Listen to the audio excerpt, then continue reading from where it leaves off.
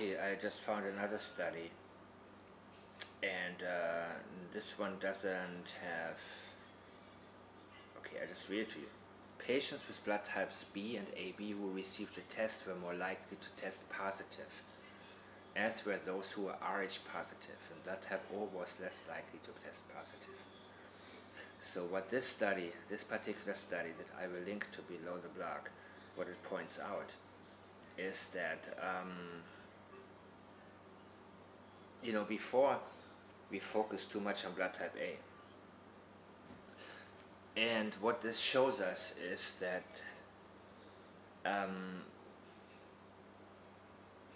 we may be wrong to focus on blood type A and simply have to focus on the fact that blood type O is the most protected and Rh negatives are the most protected from COVID-19 as a uh, as for the rest, uh, sorry, I can I still can't get out of my mind these people who say that AB negatives are immune. No, AB is actually uh, not immune whatsoever. But um, there will be more studies coming, and I hope that there are going to be some very very large numbers of uh, subjects because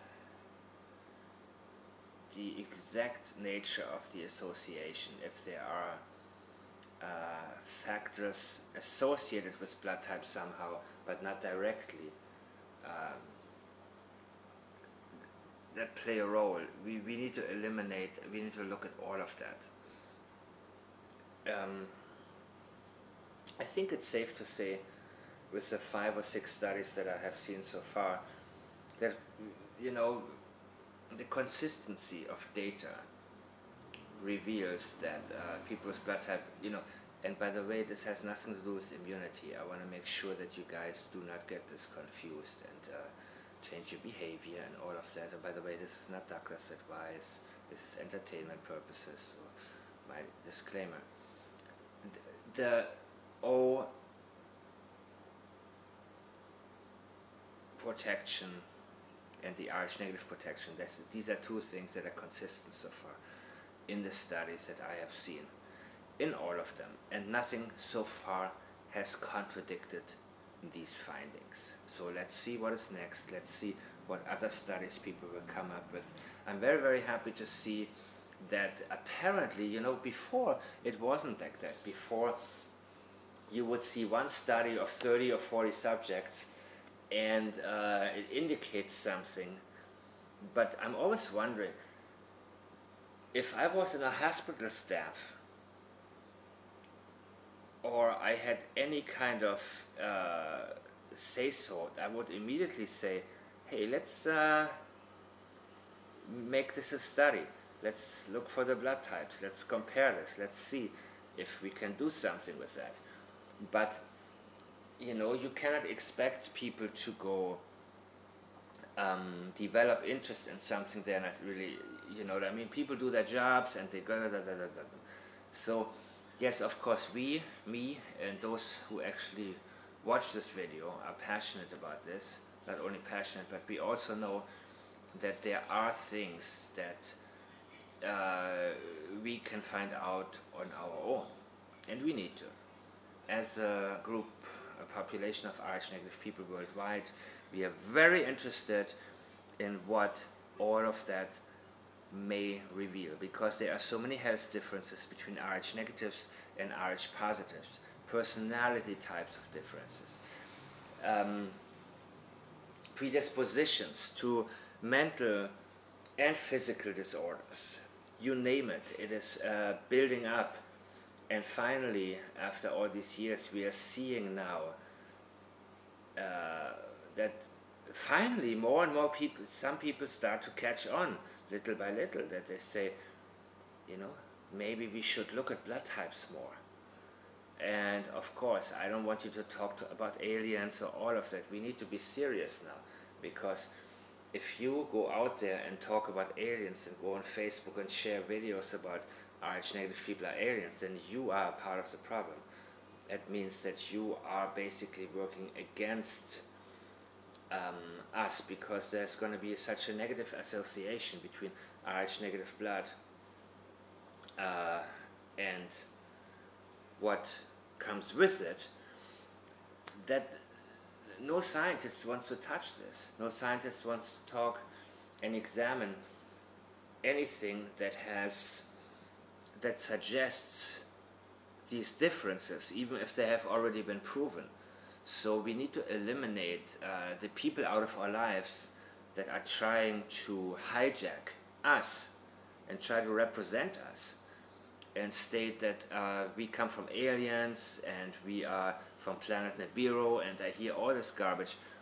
You know, if you are friends with any of these people on Facebook and you are in a group that promotes this kind of nonsense, then you are a part of the problem. Then you obviously don't need to be anywhere close to me or around me or anywhere near um, any place where people actually work hard on researching in order to not just make things better for us, but also the future generations of Rh negative people. I think that's what is very, very important right now. That we uh, think, you know, back in the Middle Ages, Rh negative people probably had it very, very bad due to our personality traits and not really being able to cope with nonsense. And the, you know, things are getting better, but only if we make them better. The opportunity to make things better for everybody is right now. So you need to take responsibility. We are in a movement and we need unity and we all need to have Rh negative get-togethers very very soon because I think there's a connection between us. A final element worthy of discussion is that there is certainly a, uh, that you're able to account for confounding factors. Yeah, discussions. I'm not. sure, I'm not. You know, the discussion part of any study. Um, you know, this is something to be very, very careful with. Blood type O had the lowest frequency. Similar to yes, we got that.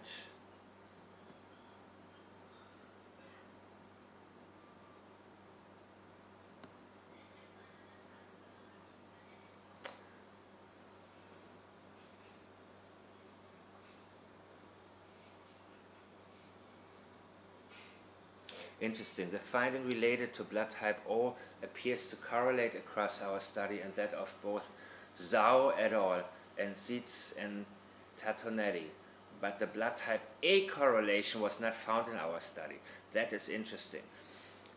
The blood type, the Chinese study, remember when I posted it and people were saying it's not been peer reviewed. Well now it is being examined and in form of other studies being published. But for some reason, this one study that I will post below the video, this new one, very new one, what's, let me see where it's from.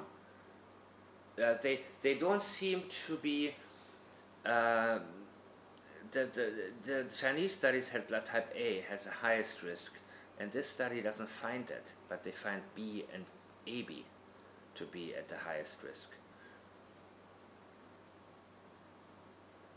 Okay, the Rh positive association with disease positivity appears to be a novel finding and warrants further investigations. Now what's interesting about this, um, this is a new study and the study that I've already shared with you from New York Presbyterian is two months older than this one. So what they say, they find the same thing, that Rh positives are more likely to be uh,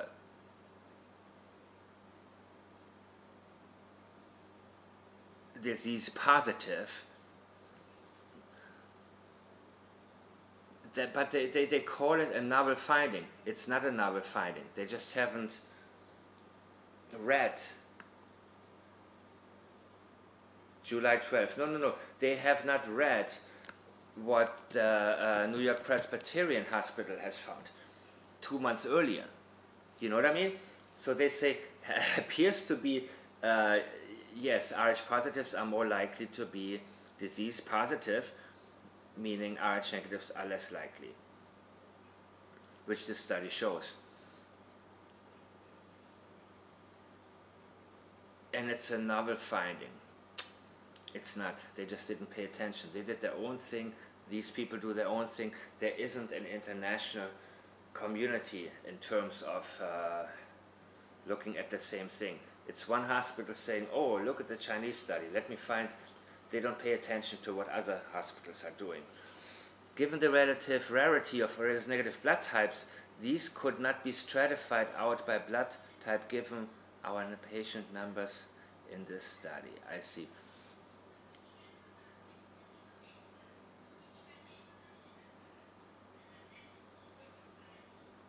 Basically the indications that they see, they are afraid to focus on the data showing low percentages of Rh negative people because it is so rare. And they are afraid to come to conclusions. And so basically what they're saying is you know Rh positives are more likely. Okay they're all afraid. They're all dancing around the bush, if you will. Let me see what what Boston. Yeah, it's from Boston, Massachusetts. It's Boston, Massachusetts. Which is really sad because it's, you know, United States like New York. But they don't exchange information, I guess. But anyways, blood type AB and B seem to be pointed out and so are Rh positive people. Thank you for watching.